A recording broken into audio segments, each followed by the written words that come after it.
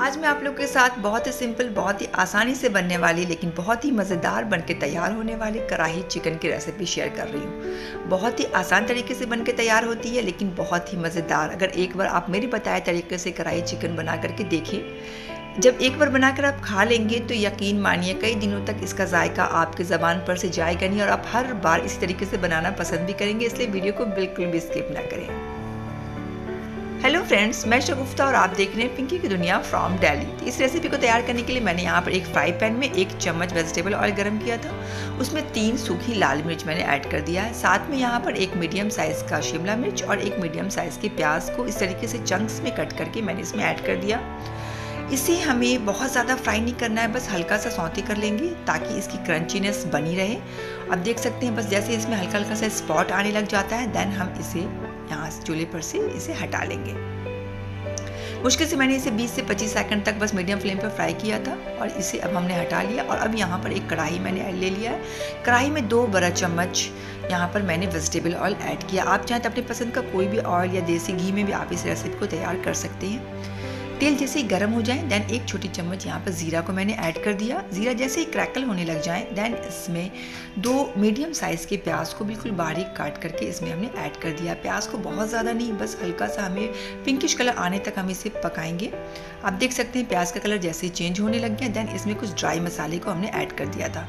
जिसमें कि एक चम्मच भर करके धनिया का पाउडर एक चम्मच यहाँ पर कश्मीरी लाल मिर्च का पाउडर आधी छोटी चम्मच हल्दी का पाउडर आधी छोटी चम्मच से थोड़ी सी कम यहाँ पर काली मिर्च का पाउडर है। नमक टेस्ट के अकॉर्डिंग ऐड करें। मैंने यहाँ पर एक छोटी चम्मच ऐड किया था और एक छोटी चम्मच सौंफ का पाउडर। सौंफ का पाउडर बिल्कुल भी स्किप ना करें। इससे टेस्ट और फ्लेवर दोनों बहुत ही ज़्यादा इन्हेंस होती है। इन सारे ड्राई मसालों को मुश्किल से पंद्रह से बीस सेकंड तक मैंने मीडियम फ्लेम पर इसी तरीके से भून लिया था ताकि इसमें एक सूंदापन, एक खुशबू सी आ जाती है और टेस्ट भी बहुत मज़े का आ जाता है। उसके बाद यहाँ पर दो मीडियम साइज़ के टमाटर को पीस करके मैंने इसमें ऐड कर दिया। टमाटर के पेस्ट को मसाले के साथ बहुत अच्छे से हमने मिक्स कर लिया है यहाँ पर। उसके बाद फ्लेम को बिल्कुल लो कर देंगे और उसके बाद यहाँ पर हाफ़ के जी चिकन जो कि बहुत अच्छे से मैंने दो तीन पानी से इसे वॉश कर लिया है, उसे हम इसमें ऐड कर देंगे।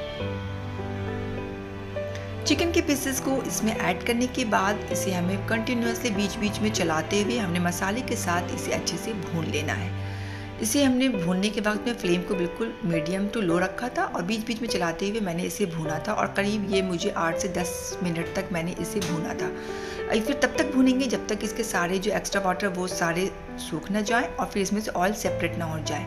आप देख सकते हैं इसकी ऑयल सेपरेट होने लग गई थी। देन मैंने इसमें चार चम्मच भर करके घर का ताज़ा दही जमा हुआ, फेंट करके मैंने इसमें ऐड कर दिया था। दही ऐड करने के वक्त में फ्लेम को लो कर देंगे, उसके हल्के हाथों से हम इसे मिक्स कर देंगे, नहीं तो फिर दही के फटने का डर रहता है।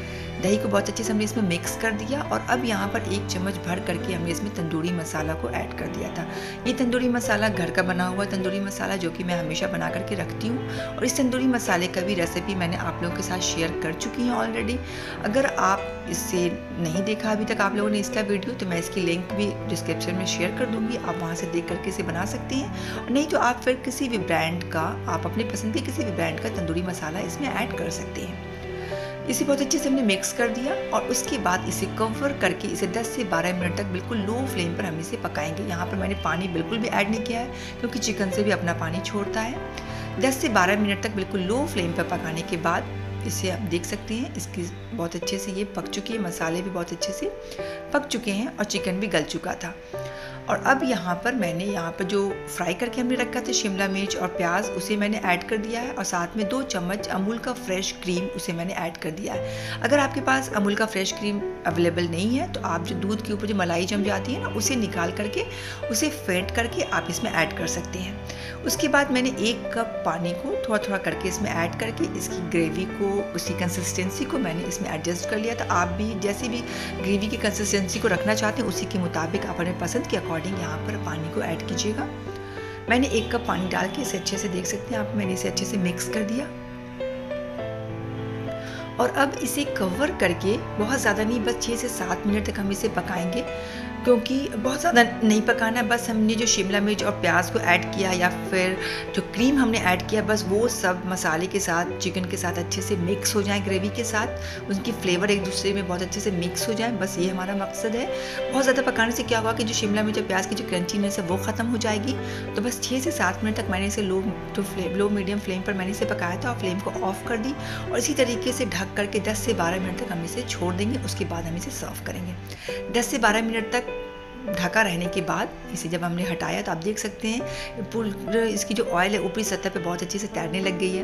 बहुत खूबसूरत इसका कलर भी आ गया और बनने के बाद ये बहुत सी मज़ेदार बन करके तैयार भी हुआ था फ्रेंड्स तो अगर ये मेरी वीडियो आप लोगों को थोड़ी भी हेल्पफुल लगती है तो मेरे चैनल को सब्सक्राइब करें वीडियो को लाइक करें फैमिली फ्रेंड्स ग्रुप्स में शेयर भी कर सकते हैं और आखिर में दिल साफ़ रखें, जबान पाक रखें, अपना और अपने का ख्याल रखें, कोई अपना तो उसके साथ धोखेबाजी या चालबाजी बिल्कुल भी नहीं करें। मेरी इस वीडियो को एंड तक देखने के लिए बहुत बहुत थैंक्स love is